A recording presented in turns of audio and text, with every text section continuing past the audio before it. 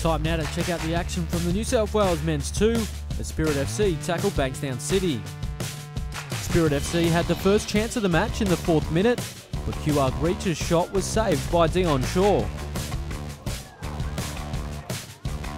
And Bankstown would go straight up the other end and open the scoring seconds later.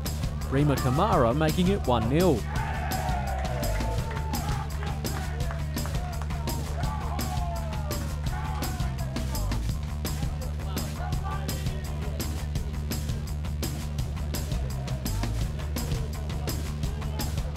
Spirit FC wouldn't go away, finding an equaliser on 30 minutes through Abraham Majok.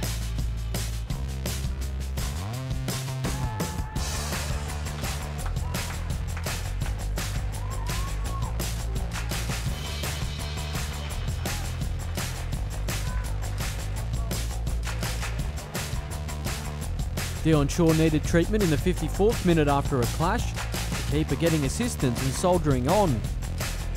But Majok would fire Spirit FC in front in the 54th minute. The attacker once again showing great composure to finish well. 2 1 to Spirit FC.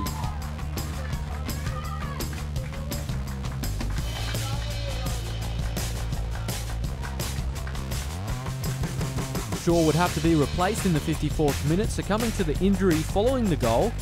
Nicholas Carosi stepping between the posts for Bankstown City. And it was a horrible introduction for Carosi, with the replacement keeper giving away the penalty a minute after coming on the field, after bringing down QR Reach. Daniel Cunningham stepped up and scored from the spot to make it 3 1 and secure all three points for Spirit FC.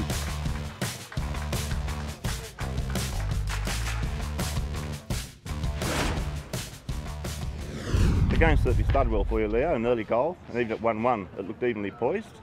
I'll probably disagree with you. I think at 1 0 there was already signs for us. Um, we worked on a game plan this week, and not that it backfired, but I don't think we executed it the way that we trained it. Um, they were still able to get in behind us, and I just think that, look, they were the better team today, there's, there's no doubt about that. Uh, that's why they're sitting top of the league. They were physically good. Structure was really, really good. So congratulations to them. You can't say a bad thing about them. I don't think we were anywhere near where we need to be, um, and I know we're better than that, so that, that's why it's disappointing. Another win, John, five points clear. Things couldn't be getting any better. Yeah, this was a good win today. We we knew coming to Bankstown was going to be a very difficult game. They're a good side and play good football. But we just love getting on this wide field and uh, lots of room to play good football. And I think you saw that we can play good quality football. You win a goal down early. Were you a little bit worried at that time? Nah, not at all. We kept playing the same way. And if we lost 1 0, we'd still still have the same philosophy for next week. The boys believe in it, they're all buying into it, and that's, that's where we're heading. That's all we have time for this week in the New South Wales men's 2.